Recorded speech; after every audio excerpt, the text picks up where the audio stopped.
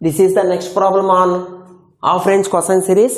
Express the function f of x is equal to pi x. Okay here given problem is pi x. We have to express this function as half range cosine series on the interval 0 to pi.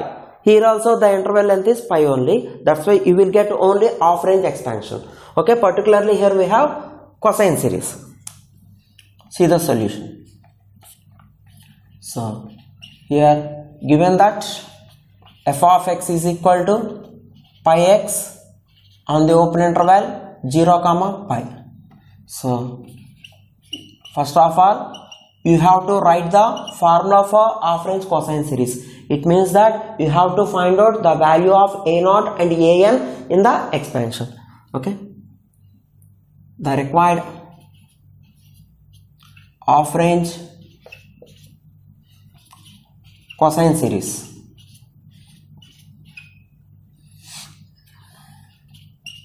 is f of x is equal to a naught by 2 plus summation n is equal to 1 to infinity a n into cos nx okay.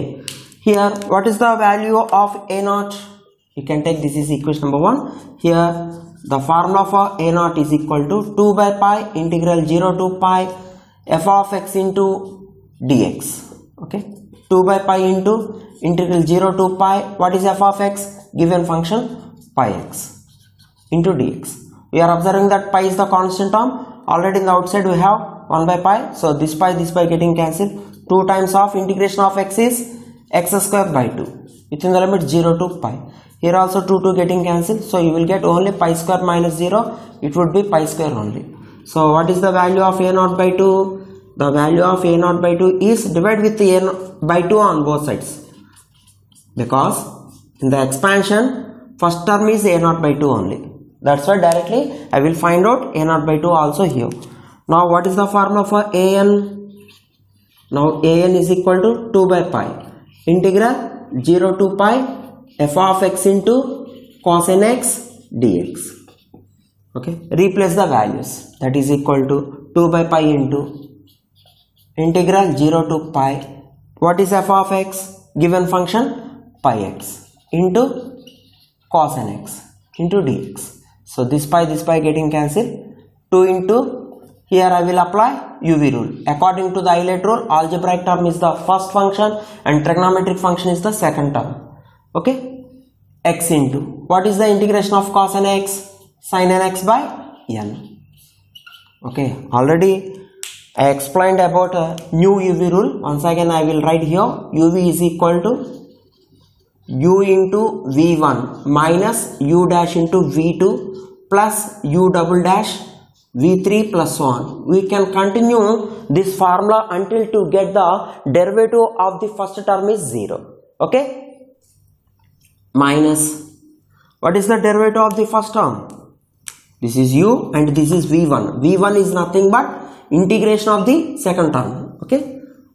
1 into integration of sin nx is minus cos nx by n. Already n is there. So you will get n square. Integration is completed. So we have to apply limits because the next term is derivative of 1 derivative of 1 is 0 0 into anything 0 that's why formula is completed with this step so 2 times of apply upper limit which is pi okay? Here upper limit is pi. So pi into sin n pi. Already you know that sin n pi value is 0 and cos n pi is minus 1 whole power n. After completion of integration at the time of replacing the limits we are using this formula. Don't forget it.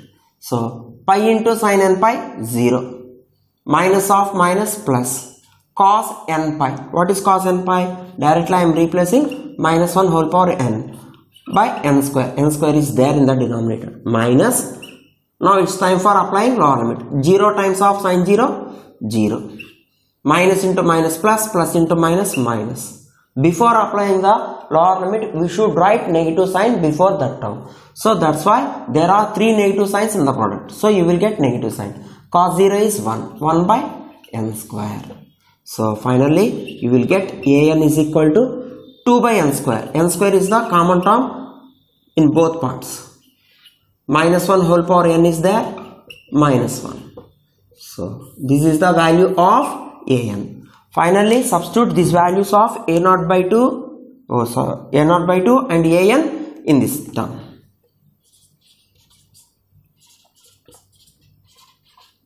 In capital A. So you will get f of x. What is f of x? Pi x. Pi x is equal to a naught by 2. It would be pi square by 2 plus summation n is equal to 1 to infinity an which is 2 by n square whole into minus 1 whole power n minus 1 into cos nx because in the formula we have cos nx in the product of an after writing an in product you should write cos nx okay this is the required half range cosine series. If you expand these summations you will get to only cosine terms. That's why this is called cosine series of given function on the given interval 0 comma pi in the next video i will give some more examples on this half range series. Thank you